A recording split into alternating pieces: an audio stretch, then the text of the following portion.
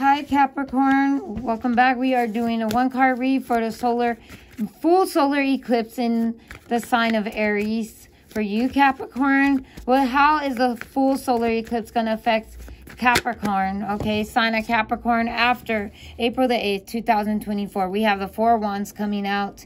You could be dealing with a fire sign after April the 8th, 2024. Aries, Leo, Sagittarius. Oh, wow. So Capricorn, you looks like you're going to get love in at the bottom of the deck. Yes, you are. So Capricorn, if you're single, you get definitely going to have love coming in the rest of this year here. Okay, this person, that's what I'm saying. It's open, it's open read, okay? So it's general, it's open. You're going to have a lot of options after April the 8th. This solar eclipse, full solar eclipse after April the 8th is going to bring you a lot of opportunity. You're going to have a lot of choices in love or in choices in dating people. Here is what I'm seeing at the bottom of the deck. First card at the bottom of the deck is Seven of Cups, followed by the Knight of Cups. Okay, a lot of water. And then we got Taurus energy, okay, Hierophant. This, These options that you have, I do see a fire sign here that could definitely want to marry you, Capricorn. Take it as apply. This may or may not resonate. So we have a Taurus, and then we have fire. Aries, Leo, Sagittarius. I see someone wanting to marry you guys. Okay, I'm not saying it's going to happen this year, but you are going to meet someone that is going to... um you're going to hit it off with them. You're going to start dating, okay?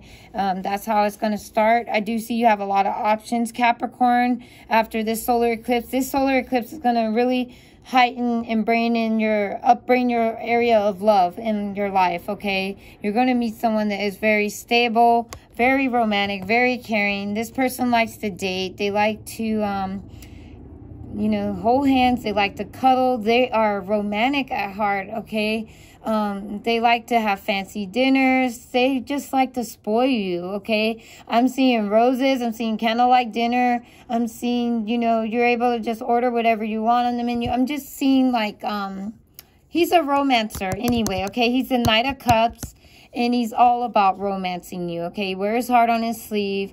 He's not hiding nothing. Um, this guy will let it let you know definitely he wants to date you. You are going to have a lot of options here. I do see here with the Seven of Cups being exactly at the bottom of the deck here. So that's what I'm saying. You do have someone behind you, though. It's a water energy, Pisces, Cancer, Scorpio coming in wanting to date you. So this person, this water sign, might ask, ask ugh, I can't talk, might ask you out on a date. He could be nervous. He could be shy to do this. I feel like he has to get up the nerve.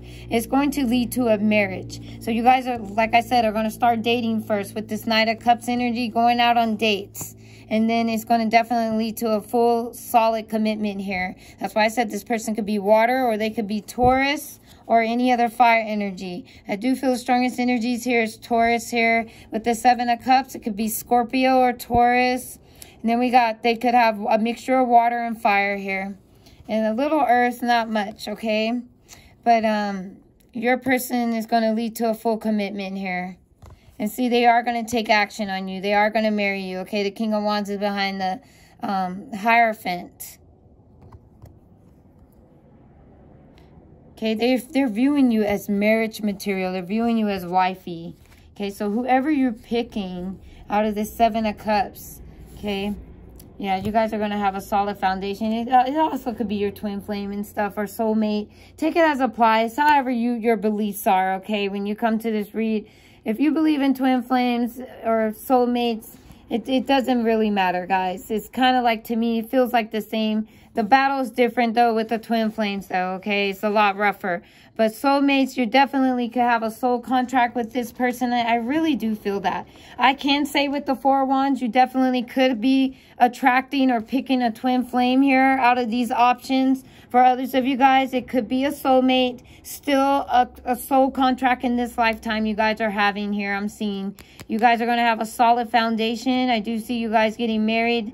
They have been pointing out to me for the longest right now in your read a year, a year, a year.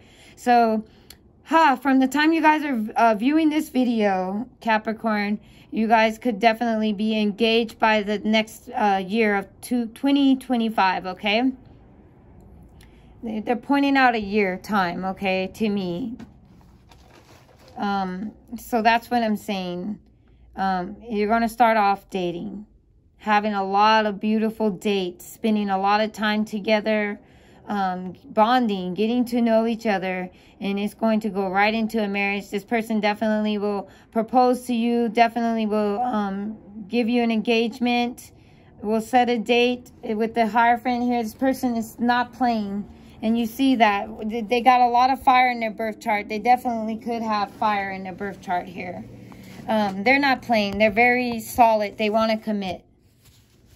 So whoever you're picking, um, you're meant to pick them or either you're going to boil it down or you as you date these other guys because I see you got options. Maybe you're dating different guys. You're going to wind it down. That's what I'm seeing in a year, within a year. Because pretty much the guy, the guys that you're dating, one is going to give you a commitment, okay? If you're dating several guys at the same time, one's going to give you a commitment and that's the one you're going to end up going with okay? And yes he is the one for you. He is stable. That's how you're going to know who the one is for you. He's going to actually lock it down with you. He's going to know he's he's the one for you at when you're dating okay? So that's when you're going to get your ring while you're dating. So i don't know if he's going to take you out on a date. They're saying he, when you're dating that's when he's going to actually propose to you okay? So um that's what i saw um it's you know it's going to be after dinner or something. It could be around family and friends. He's going to pop that question to you pretty fast. Um so i'm talking about dating maybe six months seven months. It's going to be under a year. And then like by a year you will have a ring on your finger. That's what i'm talking about capricorn. Okay? And you deserve it.